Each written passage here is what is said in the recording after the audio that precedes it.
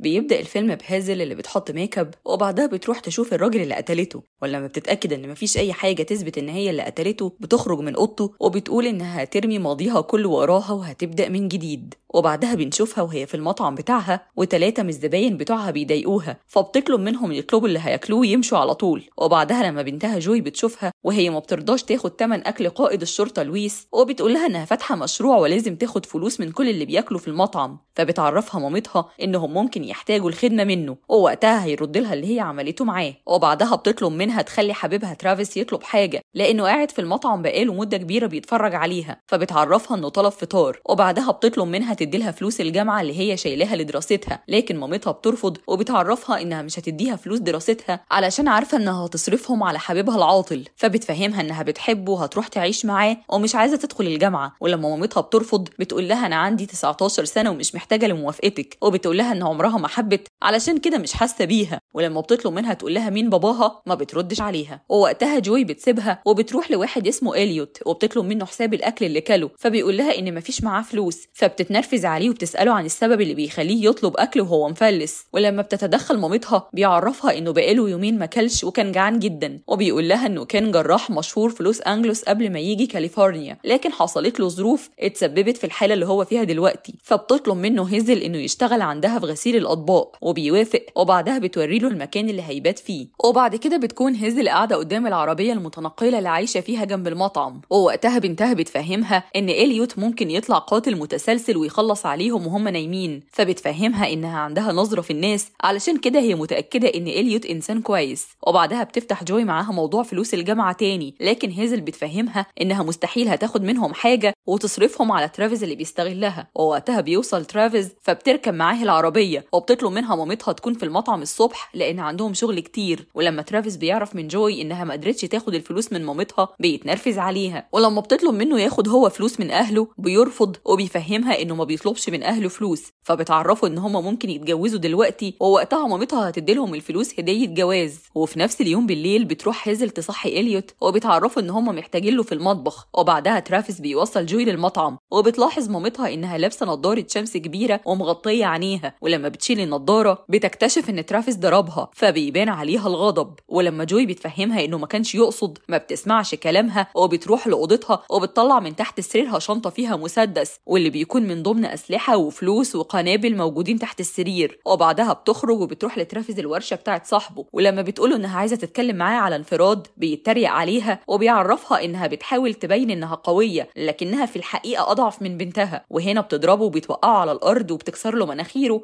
وبتهدده بالمسدس فبيفهمها إن اللي حصل لجوي كان غصب عنه فبتاخده وبتخرج بيه من الورشة ولما بيحاول صاحبه يدافع عنه بتهدده بالمسدس وبعد كده بتحط ترافيس جوه شنطة العربية وبتكتف إيده ورجله وبتروح بيه على الصحراء وبتنزله من العربية وبعدها بترميه جوه قبر حفرته له هناك وبتقول له إنها ممكن تسمح بأي حاجة إلا إن أي حد يمس شعرة من بنتها وبعدها بتضرب عليه رصاصة. ولما بتركب العربية بتفتكر لما بنتها كان عندها سنتين وخدتها وهربت من لاس فيجاس ووقتها وعدتها إن كل حاجة انتهت وهيبتدوا حياتهم من جديد. وفي نفس الوقت بيشوف إليوت خافير الشيف اللي شغال معاه في المطعم وهو بيدي أكل لواحده جوه عربيته وبعدها بيسيبها ويمشي. وبنروح لجوي وهي بتبعت رسائل لترافيس لكنه ما بيردش عليها. ووقتها بتسأل مامتها إذا كانت عملت حاجة فيه فبتفهمها إنها اتكلمت معاه واتفقوا إنه يسيب الولاية. فبتعرفها إن أهله كلهم مجرمين ومش هيسيبوها في حالها فبتقول لها إنها مستعدة ليهم وإنها لازم تكون مبسوطة لأنها أنقذتها من النسب ده. وهنا بتلاحظ هيزل إن في واحد بيصور إليوت اللي لما بيشوفه بيبان عليه التوتر ولما بتسأله تعرفه فبيقول لها لأ. فبتروح للراجل وبتسأله انت بتصور إيه؟ فبيعرفها انه بيحب يصور المطاعم القديمة وبعدها بيخرج من المطعم. وفي نفس اليوم بالليل بيحلم إليوت بحادثة عربية فبيقوم من النوم مفزوع. ولما بيخرج من أوضته بيلاقي هيزل سهرانة لوحدها. فبتسأله عن السبب اللي صحاه دلوقتي. فبيقول لها إنه حلم بكابوس ومحتاج يخرج يشم هوا. ووقتها بتفهمه إنها مش عايزة مشاكل في المطعم بتاعها. وبتسأله مرة تانية إذا كان يعرف الراجل اللي كان بيصوره النهاردة في المطعم. فبيأكد لها إنه ما يعرفوش. بس هي بتطلب منه يحكي لها على السر اللي مخبيه فبيقول لها إن هي لو حكيت له على أسرارها هيحكي لها على صدره وبعدها بيسيبها ويمشي. وبتتفاجئ هيزل إن الراجل مستنيه بعربيته وأول ما بيشوف إليوت خارج من المطعم بيمشي وراه فبتركب عربيتها وبتمشي هي وراه. لحد ما بتشوفه بيقف قدام فندق على الطريق فبتدخل أوضته وبتضربه بكعب المسدس فبيفقد الوعي. ولما بيستعيد وعيه بتهدده بالمسدس فبيعترف لها إنه مراسل صحفي وبيشاور لها على اللابتوب بتاعه. فبتشوف فيه مقال عن إليوت ووقتها بيعرفها إنه بيدور ورا إليوت لأنه سنة 2016 كان سايق وهو سكران فعمل حادثة وماتت بسببها خطيبة إليوت فاتحبس أربع سنين ولسه خارج من السجن. وبيفهمها إن إليوت كان جراح مشهور قبل الحادثة فبتاخد اللابتوب بتاعه وبتقول له إنها مش عايزة تشوفه في مطعمها تاني. وتاني يوم الصبح إليوت بيسأل خافير عن البنت اللي شافها في عربيته فبيعرفه إنها بنت أخوه بس بتتكسف تدخل المطعم فبيطلب منه يدخلها المرة الجاية وما يسيبهاش في العربية. وبعدها بتروح هيزل لبنتها اللي بتكون بتعيط ووقتها جوي بتعرفها إنها عايزة تطمن على ترافيس وبتقول لها إنها بتحبه وإنه ضربها غصب عنه فبتفهمها مامتها إنه هيفضل يضربها وكل مرة هيقول لها غصب عنه فبتسيبها جوي وبتخرج من المطعم ولما بتخرج وراها بتتفاجئ بفيل مستنيها فبتتصدم لما بتشوفه وبيقول لها إنه بقاله 20 سنة ما شافهاش وبعدها بيعرفها إن فون خرج من السجن فبيبان عليها التوتر ولما بتسأله خرج إزاي فبيعرفها إن المحامي قدر يطلعه من القضية اللي كانوا عليه وبعدها بيحدد لها ميعاد تاني يوم الساعة 9 بالليل علشان تروح له وبيعرفها إنه هيكون موجود هناك. وقبل ما بيمشي بيقول لها إن جوي بنتك بقت جميلة وإن قرارك كان صح لما بعدتيها عن ماضيكي وهربتي بيها. وفي نفس اليوم بالليل بترجع تاني جوي تطلب من مامتها تعرفها إذا كانت أذت ترافيس فبتسألها مامتها انت شاكة إني ممكن أذي حد؟ فبتقول لها لأ. ووقتها مامتها بتفهمها إنها لما سابت ترافيس كان عايش وبيخرج بعربيته بره الولاية. وهنا جوي بتحضنها وبتعرفها إنها خايفة عليها. ولما مامتها بتقول لها إنه ما يستاهلش اللي هي عاملاه في نفسها ده فبتسيبها وبتاخد العربية وتمشي. وبعدها بتروح تقابل واحدة صاحبتها وبتشكرها لأنها عزمتها على الحفلة. ولما صاحبتها بتسألها عرفتي حاجة عنه بتقول لها لأ. وبتفهمها إنه أهله ما بيحبوهاش وإن باباه في السجن. علشان كده مش هيبلغوا البوليس عن اختفائه. وبعدها بتدخل تحتفل وبترقص مع أصحابها لحد ما بيوصل قائد الشرطة لويس وبياخدها معاه بعربيته وبيرجعها لمامتها. وتاني يوم الصبح بتقول هازل لإليوت إن اللي كان بيصوره صحفي وبيجمع تحريات عنه. فبيقول لها أنا أعرف الراجل ده واسمه والتر وإن باباه كان من المرضى بتوعي ومات وأنا بعمل له عملية. ومن يومها وهو بيلومني على موته. وبيفهمها إنه كان دكتور ناجح وفي ضربة واحدة خسر كل حاجة. ومن يوم ما خرج من السجن بعد حادثة خطيبته ووالتر بيحاول يمسك عليه أي غلطة علشان يرجعه تاني السجن وينتقم من موت والده في العملية اللي أصلا كان قضاء وقدر فبتأكد له إنه مش هيضايقه تاني. وبعدها بتطلب منه ياخد باله من جوي لحد ما تروح فيجاس وترجع تاني. فبيوافق. وفي الميعاد اللي فيل حدده لها بتروح لوكر العصابة وهناك بيفتشها واحد منهم ولما بيتأكد إن مش معاها سلاح بيسمح لها تدخل. ووقتها بتقابل فون فبتعرفه إنها مش مصدقة إنه خرج من السجن فبيقول لها إنه خرج بمعجزة. وبعدها بيقول لفيل إنه قابل هيزل وهي عندها 15 سنة ويومها كانت مشردة وعايشة في الشارع. فخدها ودربها علشان تكون قاتلة. ومن يومها وهي ما خذلتهوش في أي مهمة اداها لها. وبعدها بيطلب منها تقتل واحد كانت تعرفه من 20 سنة اسمه بيري. ولما بترفض وبتفهمه إنها من 20 سنة قررت إنها مش هتقتل حد تاني بيديها فلوس مقدم وبيهددها بقتل جوي لو ما نفذتش المهمة فبتاخد الفلوس وبتوافق تنفذ اللي طلبه منها. وبعدها بتروح لصاله لعب البوكر اللي بيري بيسهر فيها وبتشوفه هناك وهو حواليه الحرس بتوعه. وبعدها بترجع للمطعم بتاعها وبتسهر مع إليوت. وتاني يوم الصبح بيعزمها إليوت على العشاء بأول مرتب قبضه منها لكنها بترفض وبتعرفه إنها مسافرة تاني لفيجاس بالليل. وفي نفس اليوم بالليل بتروح لقاعة البوكر وبتقدر تلفت نظر بيري اللي أول ما بيشوفها بينبهر بجمالها. وبيقول لها إنه مش مصدق إنه بيشوفها تاني بعد مرور 20 سنة وبيطلب منها تروح معاه لاوضته فبترفض في الأول لكن لما بيصمم بتروح معاه ولما بتطلع الأوضة معاه بتحط له مخدر في العصير وبتديهوله يشربه ووقتها بيعرفها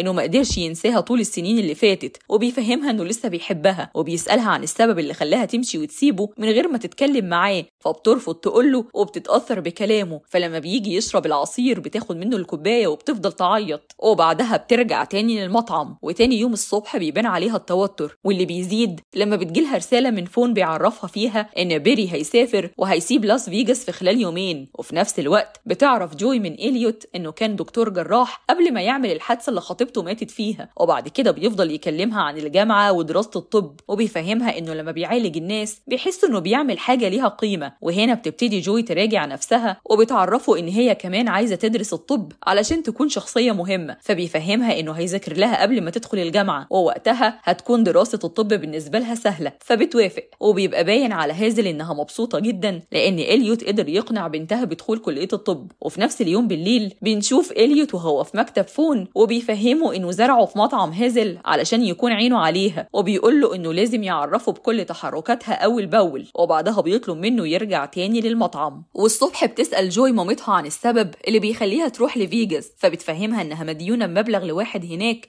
وبتحاول تسدده ولما بتعرض جوي عليها إنها تاخد فلوس الجامعة بتاعتها علشان تسد دينها فبترفض. وبعدها مامتها بتسألها إذا كانت وافقت إنها تدخل كلية الطب فبتقول لها إنها لسه بتفكر. وبعدها لويس بياخد قهوته في المطعم وبيسأل هازل إذا كانت شافت أي حد غريب في المطعم مؤخرا. فبتفهمه إن كل اللي بيجولها المطعم زباينها ومفيش أي حد غريب. فبيفهمها إن في بنات اختفت مؤخرا وإنهم مش عارفين يوصلوا للعصابة اللي بتخطفهم وبيطلب منها تتصل بيه لو شكت في حد. وبعدها بتروح جوي تاخد طلب فيل اللي بيفهمها إنها حلوة زي مامتها فبتقول له إنها شافته مع مامتها قبل كده وهنا بتقرب منهم هازل وبتطلب من جوي تروح تشوف طلب ترابيزة تانية وقتها فيل بيعرفها إن بيري هيسيب لاس فيجاس بكرة الصبح وبيفهمها إنها لازم تنفذ اللي طلبه فون منها فبتقول له إن عمرها ما فشلت في تنفيذ أي مهمة فون اداها لها وبعد كده بتطلب منه ما يقربش من جوي تاني وبيخرج من المطعم فبيعرفها إنه هيخلي عينه على جوي وبعدها بيخرج ووقتها بتكون هيزل متنرفزة جدا وبتخرج من المطعم فبيخرج إليوت وراها وبيحاول يهديها وبيطلب منها تتكلم معاه على اللي مضايقها فبتسيبه وتمشي. ووقتها بيبعت رسالة لفون بيعرفوا فيها إنها هتنفذ النهاردة. وفي نفس اليوم بالليل بتطمن على بنتها وبعدين بتروح لإليوت وبتعرفه إنها مسافرة لاس فيجاس وبتطلب منه إن علاقتهم تبقى في حدود الشغل وبس.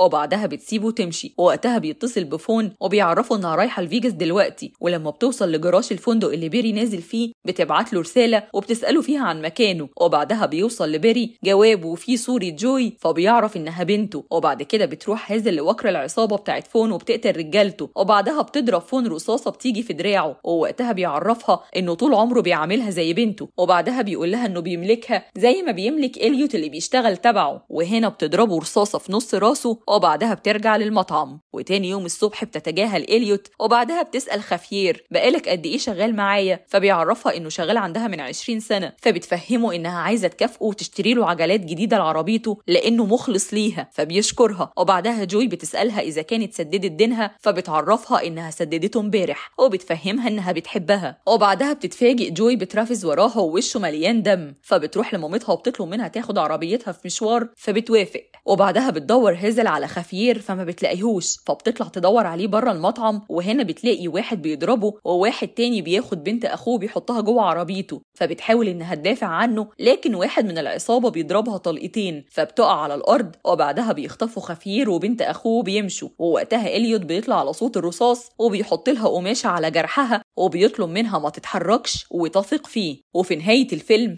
بيتكتب إن في جزء تاني للأحداث دي واستنوه لما ينزل علشان نلخصه. لو عجبك الملخص ما تنساش تعمل like و share و subscribe لقناة اليوتيوب ولصفحة الفيسبوك. ولو بتحب الملخصات الكوميدية تابعوني على قناة وصفحة مروة القاضي.